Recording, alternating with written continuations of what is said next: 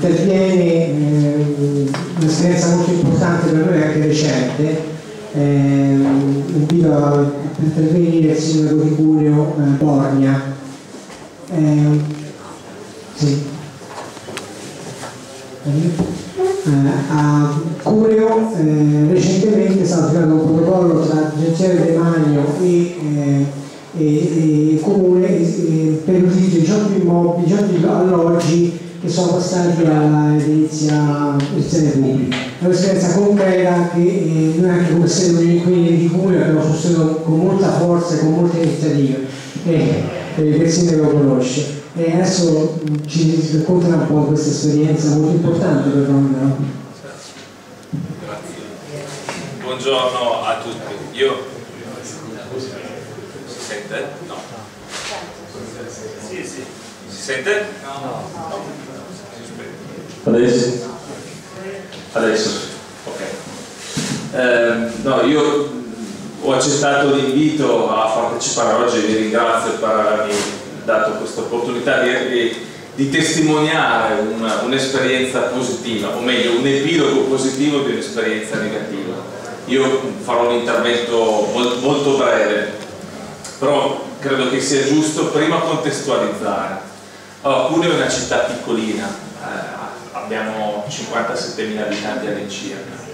Eh, siamo in una provincia molto grande, eh, con una situazione economica eh, buona rispetto alla media del paese e la situazione economica della città di Cuneo è migliore rispetto alla media, alla media provinciale. Per darvi dei parametri di riferimento, il tasso di disoccupazione medio nel 2016 in provincia di Cuneo era del 6, è stato del 6,5%, circa la metà del, del tasso nazionale.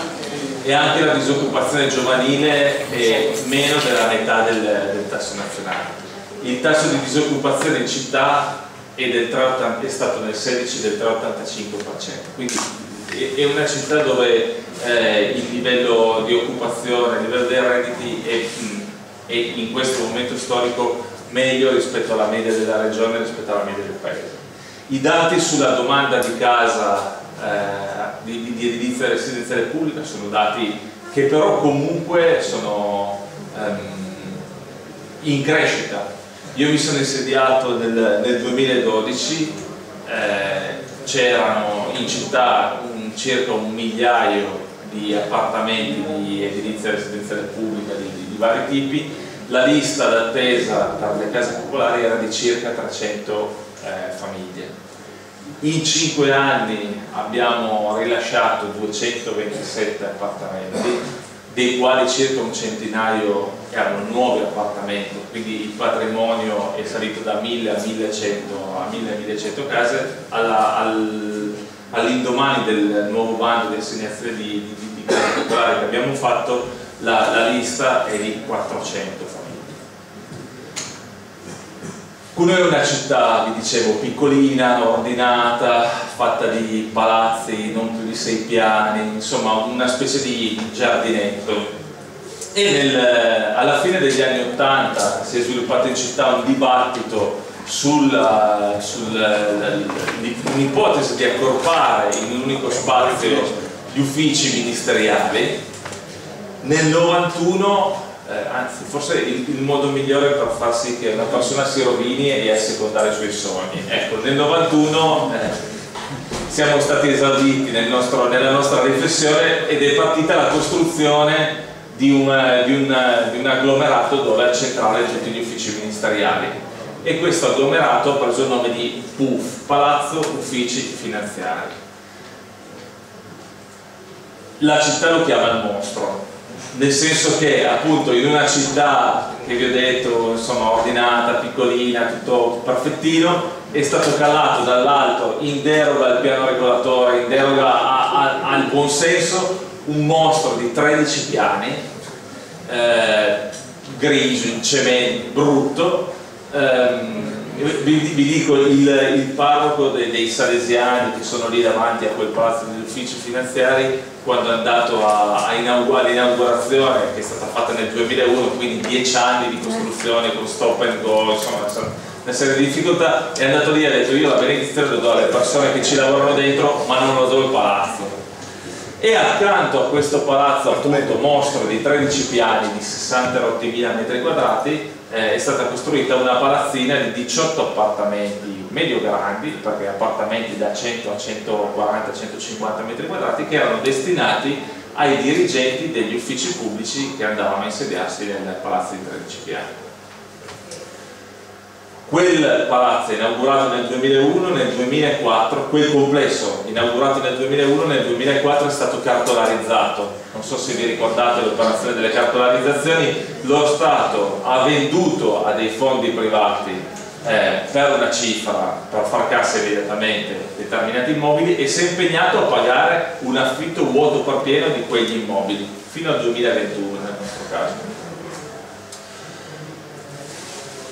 Quel palazzo, il mostro, nel, nel, negli anni ha avuto una storia che, che, non ha funzionato, è partita male, sta andando avanti peggio, nel senso che è, è utilizzato credo ad oggi, non so se arriviamo al 40% di utilizzo, eh, gli ascensori non funzionano, ci sono stati problemi con eh, i vigili del fuoco, ci sono state delle realtà da un ospedale, una, una compagnia assicurativa che si è insediata all'interno e poi sono scappati perché ci sono problemi di gestione seri. Ho fatto di recente delle ordinanze perché ci sono dei pezzi di cornicioni che si staccano, cadono, insomma è una situazione delicata.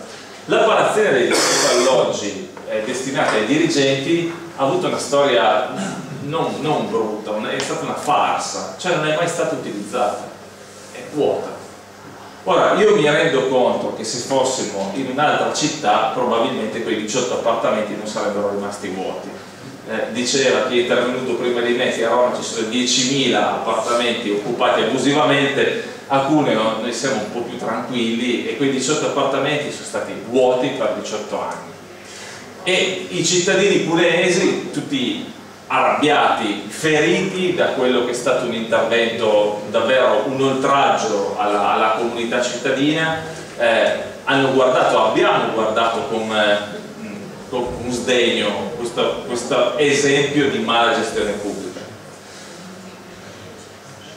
Da, io mi sono insediato appunto nel 2012, da allora con il Demanio ho proseguito la battaglia che ha fatto chi mi ha preceduto e poi eh, il demanio, diciamo negli ultimi due anni e mezzo, tre anni, ha decisamente cambiato, cambiato approccio e ha decisamente cambiato marcia.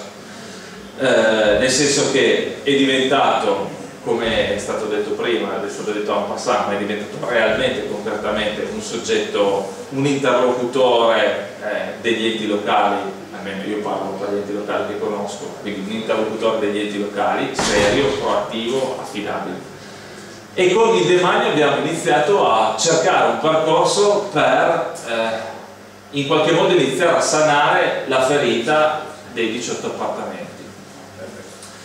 Allora abbiamo ipotizzato una serie di, di strade percorribili, vi ricordo che i 18 appartamenti erano stati cartolarizzati con eh, tutto il complesso del, del Palazzo degli Uffici Finanziari. Abbiamo valutato appunto n strade percorribili, compreso l'esproprio, compreso l'esproprio. E alla fine eh, abbiamo scelto non di percorrere la strada dell'articolo 26, perché l'articolo 26 non ci avrebbe trasferito la proprietà del bene, ma abbiamo provato a percorrere la strada del federalismo demaniale. Cioè, il demanio con decreto si è riappropriato della palazzina dei 18 appartamenti e con un'operazione di federalismo demaniale l'ha trasferita all'amministrazione comunale. Noi parallelamente abbiamo, facendo riferimento al, al, piano periferie, abbiamo candidato nel piano periferie un intervento, un, un intervento di social housing, eh, un intervento impostato come eh, cofinanziamento di interventi o interventi diretti dell'amministrazione comunale senza indicare l'immobile sul quale l'avremmo fatto perché non sapevamo se avremmo avuto o meno la disponibilità di 18 appartamenti nel caso in cui non ce l'avessimo avuta saremmo, saremmo, avremmo utilizzato altri contenitori comunali. Eh, quindi abbiamo eh, acquisito all'interno del piano periferie che è stato finanziato eh, le risorse per eh, rimettere in, in funzione eh, degli immobili, degli, immobili, destinati a social housing nel frattempo, questo è il 22, non ho ancora detto al direttore del demanio, facciamo il consiglio comunale all'interno del quale deliberiamo l'acquisizione della proprietà del bene dei 18 appartamenti dal demanio e poi interverremo appunto con i fondi del piano periferie per rimettere in funzione eh, questi 18 appartamenti che da 20 anni e più sono lì inutilizzati. E credo che quella, questa sia una, un, un, un, lieto fine di una brutta storia, però è, è, una storia da raccontare perché è una storia di, di, di buon dialogo e funzionamento di pubbliche amministrazioni e oggi ce ne bisogno. Grazie. Grazie.